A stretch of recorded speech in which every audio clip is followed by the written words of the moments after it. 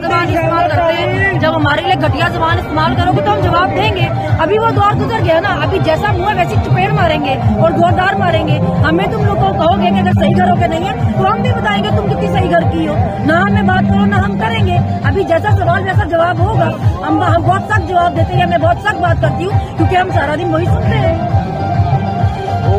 आज भी एक बात की है हमारे लिए मुश्किल काम ही नहीं है। हम तो बस प्रयास कर रहे हैं जो आम आवाम है, जो वो नहीं नहीं, वो वो इतनी लिहाज करने वाली नहीं है। उसका मसला ये है कि उसकी उसकी हैसियत ही नहीं है कि वो ये काम कर सके। जिस तरह पुलिस चौबीस घंटे मारती रही और मारने के बाद कह दिया, वो तो जी हमारे पास असला ही नहीं था। ये तो लोगों को नहीं बता सकते थे ना कि असले के बाबा बावजूद जुतियाँ खाकर गए यहाँ से। वही अब उस बीबी का है। उसको पता है वो गिरफ्तारी तो करवा नहीं सकी। तो अब ये कहेगी, नहीं नहीं नहीं, हम तो नहीं उठाना चाहते।